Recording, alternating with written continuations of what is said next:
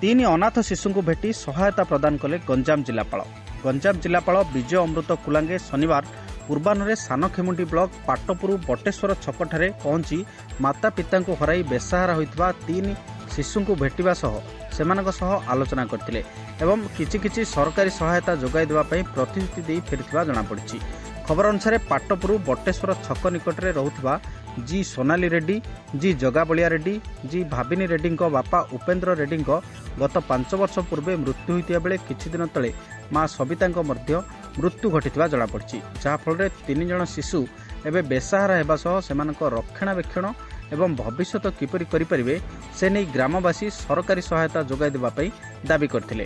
ଏହି ଘଟଣା ବିଭିନ୍ନ ଗଣମାଧ୍ୟମରେ ପ୍ରସାରିତ ହେବା ପରେ ଗତ ଦୁଇ ଦିନ ତଳେ ସ୍ଥାନୀୟ ବ୍ଲକ ପ୍ରଶାସନ ଅଧିକାରୀ ଓ ଅଗ୍ରଣୀ ସ୍ୱେଚ୍ଛାସେବୀ ଅନୁଷ୍ଠାନ ଅରୁଣା ପକ୍ଷରୁ କିଛି ସହାୟତା ମଧ୍ୟ ପ୍ରଦାନ କରାଯାଇଥିଲା।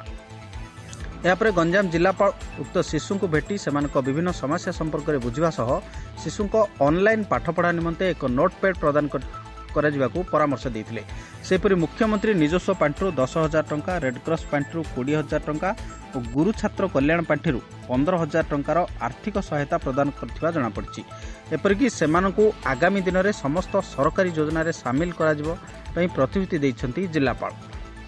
ଜିଲ୍ଲାପାଳଙ୍କ ଏହି ଗସ୍ତ ସମୟରେ ସାନଖେମୁଣ୍ଡି ତହସିଲଦାର ଶ୍ରୀନିବାସ ବେହେରା ୟୁନିୟନ ଅଧିକାରୀ ଗାୟତ୍ରୀ ଦତ୍ତ ନାୟକ ଭାରପ୍ରାପ୍ତ ଗୋଷ୍ଠୀ ଶିକ୍ଷାଧିକାରୀ ବସନ୍ତ କୁମାର ପଣ୍ଡା ସରପଞ୍ଚ ଟି ବାବୁ ସୁବୁଧି ସମିତି ସଭ୍ୟ ପ୍ରତିନିଧି ପ୍ରଶାନ୍ତ ସ୍ୱାଇଁ ସମେତ କିଛି ବିଦ୍ୟାଳୟ ଶିକ୍ଷକ ଓ ସିଆର୍ସି ମାନେ ମଧ୍ୟ ଉପସ୍ଥିତ ରହିଥିଲେ। ଗଞ୍ଜାମରୁ ସୁଶାନ୍ତ ପଟ୍ଟନାୟକ ସକାଳ ଖବର।